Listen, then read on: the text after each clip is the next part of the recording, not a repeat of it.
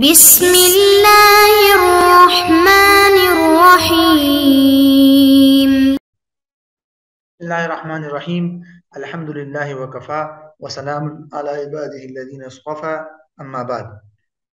अजीज तलबा उसूल इफ्ता व आदाबहू किताब की आज हमारी ये नशस्त नंबर तिरसठ है और आज की नशस्त में हम इफ्ता बमजहब आखिर की तीसरी और आखिरी हालत शुरू कर रहे हैं जैसे हमने पहले भी आपको बताया था कि ये हमारी फ़सल चल रही है फ़सल नंबर पाँच।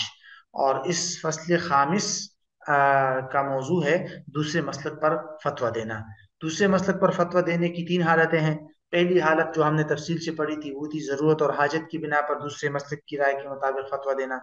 और दूसरी हालत हमने अभी गुजशत दो नशस्तों में पढ़ है और वो है कि दलील के राजे और कवी होने की बुनियाद पर दूसरे मसलक के मुताबिक जो है वो फतवा देना। और तीसरी हालत जो अब हम शुरू करेंगे, वो है जब काजी जो है वो किसी दूसरे मसलक के मुताबिक फैसला दे दे तो क्या वो फैसला नाफिज हो जाता है, नहीं होगा, इसकी क्या तफसीलात है? तो ये सारे की सारी तफसीलात हम इस तीसरी हालत में पढ़ेंगे। ये जो तीसरी हालत है कि इदा कजल काजी बगैर मजहबी ये सबसे तफसीली बहस है और इसके तहत हज़रत ने बहुत अहम निकात जो है वो लिखे हैं और बहुत अहम तफसीलात है इसके तहत। तो इसलिए हम इस तरह करते हैं कि पहले इस मुकम्मल बहस को चंद निकात में तकसीम करके समझते हैं और फिर इंशाल्लाह हम फिर उसके बाद इसका तर्जुमा करेंगे। इस मुकम्मल बहस को अगर देखा जाए कजाय काजी बगैर मजहबी की मुकम्मल बहस को तो इसको हम नौ निकात में या नौ बातों के अंदर इसको तकसीम कर सकते हैं। सबसे पहली बात होगी कि मफहूम, सबूत और हमत यानी काजी जब अपने मसलक के अलावा किसी दूसरी राय पर, किसी दूसरे मसलक पर फैसला फैसला दे दे तो वो फैसला नाफिज हो जाता है। इसका मफहम क्या है? और इस बात का सबूत क्या है? कहाँ से है? और इसकी हमत क्या है कि काजी जो है, अगर इस तरफ़ फैसला कर दे तो वो फैसला नाफिज हो जाता है। इस बात की हिकमत क्या है? तो ये तीनों बातें जो है, इस पहले बाद में आ जाएगी। दूसरा नुकता अल्लामा कासानी रहमुल्ला ने अलबदाय और सनाए के अंदर बहुत ही तफसीली बहस लिखी है कि जब काजी अपने मसलक के खिलाफ कोई फैसला करता है तो उसकी क्या तफसीलात है? हज़रत ने उनकी मुकम्मल इबारत नकल की है दो तीन सफ़ात पर और फिर उससे, उस मुकम्मल दो तीन सफ़ात के से जो खुलासा निकलता है तो वो हज़रत ने फिर खुलासा लिखा है चार निकात में। तो हम वो चार निकाती खुलासा भी पढ़ेंगे और फिर उस चार निकात के अंदर हज़रत ने दो निकात का तो तफसील ज़िक्र नहीं की क्योंकि उसकी ज़रूरत नहीं थी। हाँ नुकते नंबर तीन और नुकते नंबर चार की बहुत तफसीली वजाहत की है उसको हम अगले उसमें पढ़ेंगे फिर। तो तीसरा नुकता हमारा यहाँ ये होगा कि अल साहिब बदाय की इबारत से हज़रत ने जो चार निकात अखज किए थे उनमें से जो तीसरा नुकता था उसकी वजाहत। फिर उन्हीं में से चौथे नुक्ते की वजाहत और उससे मुतल जो है दो मुलाहजात। नंबर पाँच पे एक अहम सवाल का आ, की तफसील है कि क्या किसी मसले का सहाबा के ज़माने में इख्तलाफी होना ज़रूरी है काजी के फैसले के लिए। और नंबर छः पे मजाहब अरबा से हट कर कोई फैसला करना कि काजी ने ऐसा फैसला कर दिया जो अम अरबा में से किसी की भी राय नहीं है। और नंबर सात पे कि क्या काजी के इख्तलाफ का इल्म ज़रूरी है? कि काजी को पता था कि इसमें इम्मा का इख्तलाफ है, इसलिए उसने ये फ़र्ज़ दिया? यही ज़रूरी नहीं है। नंबर आठ पे कि जब काजी अपने इमाम की राय के खिलाफ फैसला कर दे यानी काजी मुकलद है और वो अपनी राय के, इमाम की राय के खिलाफ फैसला कर दे। और नंबर नौ पे फिर ये है कि मुजतहिद मसला है, इख्तलाफी मसला, उसमें काजी या सुल्तान या अमीर जो है बादशाह जो है उसने कोई हुक्म कर दिया तो उसकी क्या शरी हैसियत है? तो हम तरतीब वार इनको इंशाल्लाह पढ़ेंगे और इसी तरतीब से इसको पढ़ेंगे। तो सबसे पहले हम ये पहला नुकता देख लेते हैं कि काजी अपने मज़हब के अलावा किसी दूसरे मज़हब पर फैसला दे दे इस बात का तो वो फैसला जो है वो नाफिज हो जाता है। यही तो इफ्ता मज़हब नाखर है। तो इसका क्या मफहूम है? यानी जो जिसमें इजाज़त है कि काजी किसी दूसरे मसलक के मुताबिक फैसला दे दे तो वो फैसला नाफिज हो जाएगा फौरी तौर पर। वो बाकी तफसीत तो बाद में आएगी मुकलद हो तो क्या होगा मैं वगैरह वगैरह। लेकिन एक आम सा मफहूम जिसमें फैसला नाफिज हो जाता है, वो क्या मफहम है उसका? पर इसका सबूत क्या है और उसकी हमत क्या है? तीनों बातें समझिए। मफहम यह है कि जब कोई काजी किसी कज़ा के अहदे पर फाइज हो जाए, एक बात, और उसको किसी मुतन मज़हब के क्या पाबंद न किया जाए यानी उसको हुकूमत ने किसी मुतन मज़हब का पाबंद नहीं किया कि भाई तुम्हें हनफिया के मुताबिक फतवा देना है। दो तीसरी बात काजी में इश्तिहाद की सलाहियत नहीं हो। तो जहाँ ये तीन बातें जमा हो जाए कि काजी आ, किसी अहदे कजा पर फाइज हो गया ये तो वैसे भी तभी तो काजी बनेगा। और उसको मुतन मज़हब का पाबंद न बनाया गया हो और वो उसमें खुद इश्तिहाद की सलाहियत हो। तो अब ऐसा का, ऐसे काजी ने कोई ऐसा फैसला कर दिया जो किसी भी मज़हब के मुताबिक था हनफिया के मुताबिक था शाफिया के मुताबिक था मालिकिया के मुताबिक था तो वो फैसला नाफिज हो जाएगा।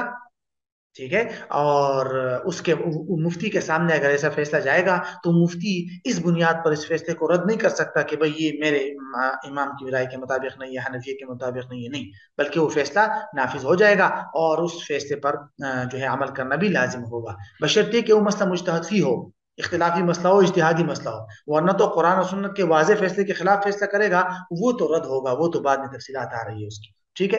तो बहरहाल ये है इसका मफहूम। और तो इसी से हमें मालूम हो गया कि इफ्ताब मज़हब आखिर की तीसरी सूरत से मुराद यही है कि काजी जब आ, इस तरह फैसला करे। इस बात पर तो का इतफाक है कि हाकिम या काजी वह एक कुल्ली अभी है ना कि हुक्म हाकिम राफ खिलाफ कि हाकिम हाकिम का हुक्म या काजी का फैसला वो इख्तलाफ को ख़त्म कर देता है। तो जब इस तरह का मुश्तद काजी फैसला करता है और उसको किसी मुतन मसल का पाबंद भी नहीं किया गया किसी भी इमाम के मुताबिक फैसला कर दे रहा है मुताबिक तो फैसला नाफिज हो जाता है। ठीक है? तो ये तो यहाँ पहली बात के अंदर जो मफहूम था वो है। इस बात का सबूत कई किस्म के आ, आ, आसार से इसको सा, साबित किया गया है। मसलन हज़रत उमर रज़ी के बारे में ही मनकूल है कि उन्होंने कजा का काम जब हज़रत अबू दरदा रज़ी के सुपुर्द किया था तो दो आदमी अपना फैसला लेकर हज़रत अबू दरदा के पास आए थे और उन्होंने एक के हक में फैसला कर दिया। फिर जिस फरीक के खिलाफ फैसला हुआ था, उसकी मुलाकात हज़रत उमर से हुई। तो हज़रत उमर ने उनसे पूछा तो हज़रत उमर ने फिर फरमाया था कि भाई अगर मैं काजी होता तो मैं आपके लिए फैसला करता। मतलब हज़रत अबू दर्दा ने आपके खिलाफ फैसला किया है तो मैं आपके लिए फैसला करता। मतलब दलाइल की बुनियाद पर। तो हज़रत उमर से जब पूछा कि भाई, आप फिर क्यों नहीं करते, ऐसा कर लीजिए तो उन्होंने फरमाया कि भाई, इस मसले में कोई वाज आयत या हदीस तो है नहीं। मेरी राय है और उनकी राय है। और राय में इख्तलाफ हो सकता है। तो उन्होंने इसको बरकरार रखा। तो देखा आपने, हज़रत अबू दर्दा ने अपनी राय के मुताबिक फैसला दिया था और हज़रत उमर के खिलाफ था लेकिन उमर ने उसको उसको नहीं छोड़ा। तो उसको तोड़ा नहीं। इसी तरह एक और सबूत के तौर पर एक और वाक़ पेश किया जाता है जो इबन बिशैबा के अंदर है कि भाई हज़रत उमर के पास एक माशरीक भाइयों की मीरास का मसला आया था तो उन्होंने उनको सुलुस में शरीक किया था। लेकिन फिर उसके बाद इस पर एक शख्स ने कहा था कि भाई आपने तो गुजशत साल इसके खिलाफ फैसला किया था कि आपने माशरीक भाइयों को तो यहाँ हिस्सा दिया, लेकिन पहले आपने हिस्सा नहीं दिया था।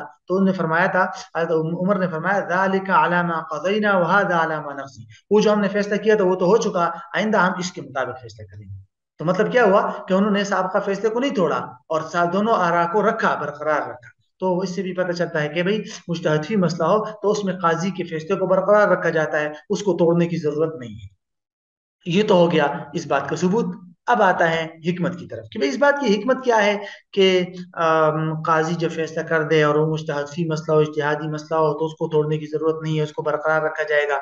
इसका असल सबब जो है और इसकी असल हिकमत जो है वो है कत निज़ा ताकि झगड़े खत्म हो, लोगों के दरमियान इख्तलाफात खत्म हो जाए और जो उनके दरमियान फैसले हैं वो सही हो जाए। अगर तो इस तरह के इश्तिहादी फैसले, इश्तिहाद फैसलों में हर काजी को इजाज़त दी जाए कि भाई वो दूसरे काजी की राय को तोड़कर अपने इमाम की राय या अपनी राय के मुताबिक फैसला दे तो फिर तो ये फैसले कभी होंगे ही नहीं। एक काजी के सामने दूसरे काजी की राय जाएगी, वो उसको तोड़कर अपनी राय के मुताबिक फैसला करेगा। वो फैसला किसी और काजी के पास जाएगा, वो तोड़कर अपनी राय के मुताबिक फैसला करेगा। तो इस तरह जब हर काजी की राय को इश्तिहादी मसाइल में भी तोड़ना शुरू किया जाएगा तो इससे तो तनाज़ात और फैसले तो कभी मुकम्मल होंगे ही नहीं, लड़ाइया और झगड़े जो है वो बरकरार रहेंगे। तो इस कत नज़ा की खातिर इस काजी के फैसलों को बरकरार रखा गया और कहा गया कि अगर मुश्तफी और अख्तिलाफी मसला है, काजी ने फैसला दे दिया, बस उसको बरकरार रखो, अब उसको तोड़ने की ज़रूरत नहीं, उसको नहीं तोड़ा जाएगा। इसी तरह एक छोटा सा नुकता और भी हज़रत ने वो ज़िक्र किया है कि इस बुनियादी तौर पर जब मुख्तलिफ़ मजाहब फ़िकिया में किसी एक को, यानी ये ये बात हम पहले तकरीर के अंदर भी पढ़ चुके हैं कि भाई मुख्तलिफ़ जो मसाले के अहम अरबा, उसमें से किसी एक मसल को आप कती तौर पर नहीं कह सकते कि यही जो है बस यकीनी तौर पर, ठीक है, बाकी सारे गलत है। बल्कि चारों के चारों अम्मा की आरा शरीयत की तशरीहत है। ज़्यादा से ज़्यादा आप ये कह सकते हैं कि मेरा इतमान इस मस्तक पर है, बाकी मस्तक में भी अहतमाल है कि वो ठीक हो। ये कह सकते हैं ज़्यादा से ज़्यादा। तो जब आप कति तौर पर, यकीनी तौर पर किसी एक के बारे में फैसला नहीं कर सकते कि यही ठीक है, बाकी सारे के सारे गलत है, जब आप ये फैसला नहीं कर सकते तो अब आप ये काजी जब फैसला करेगा और किसी के मुताबिक भी फैसला हो ना किसी भी इमाम की राय के मुताबिक होगा, आप उसको बरकरार रखेंगे, उसको तोड़ेंगे नहीं। तो ये है बुनियादी तौर पर पहले नुक्ते का खुलासा कि इस कज़ाए काजी जो खिलाफ मसलक हो जाए, उसका मफहूम क्या है, उसका सबूत कहाँ से है और उसकी हमत क्या है। तो ये तो हमारी पहले, पहला नुकता मुकम्मल हो गया। अब आते हैं हम दूसरे नुकते की तरफ़। साहिब बदाए की इबारत का चार निकाती खुलासा।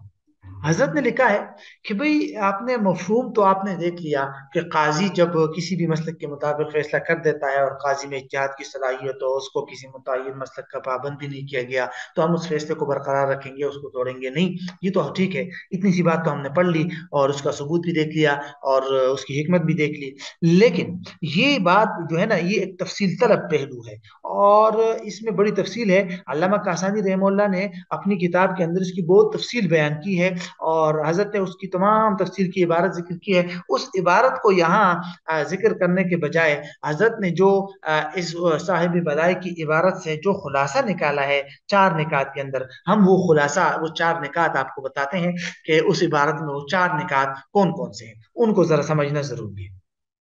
पहला नुकता अल्लामा कासानी की इबारत के अंदर यह है कि काजी ने फैसला कर दिया और वो फैसला ऐसा था कि उसमें तमाम का इजमा हो चुका है। तो अब ऐसी सूरत में ज़रूरी है कि काजी का फैसला इजमा के मुताबिक हो।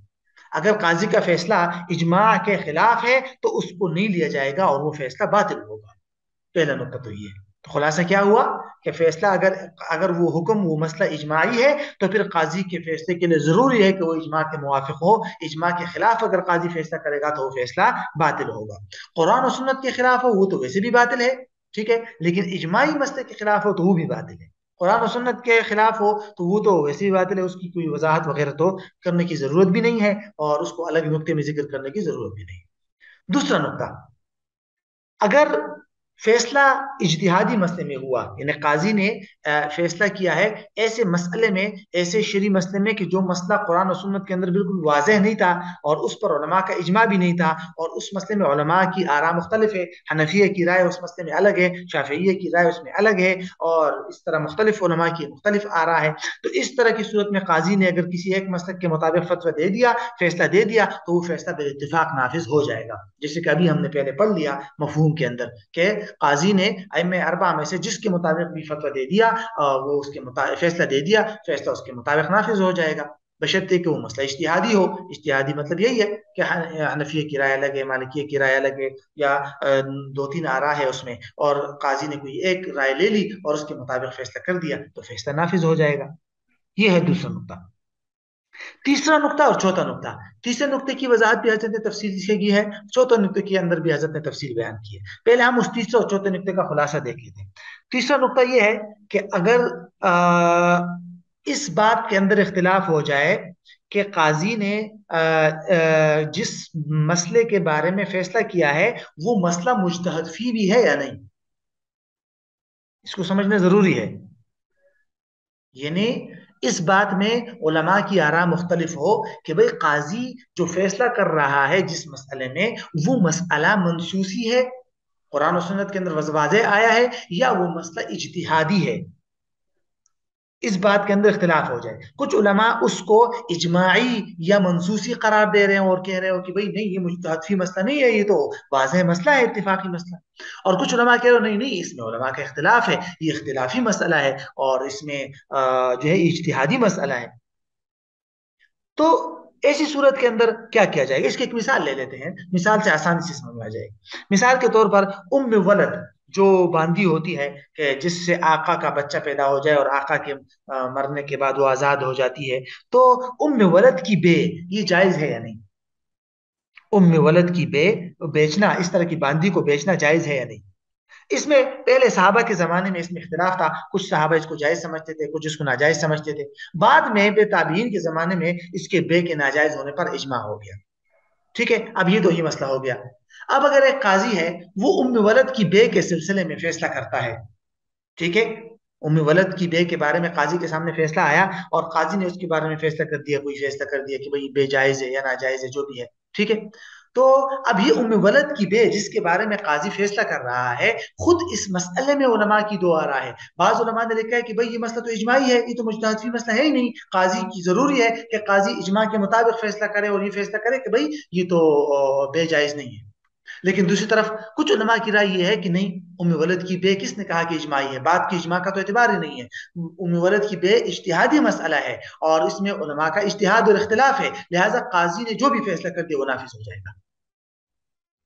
तो अब यहाँ से हमें ये समझ आया कि तीसरा नुक्ता किस बारे में है? इस बारे में है कि जिस मसले के बारे में काजी फैसला कर रहा है, उसके अंदर उलमा का इख्तलाफ हो जाए कि वो मसला मुजतहदफी है या इजमाही इजमाही है।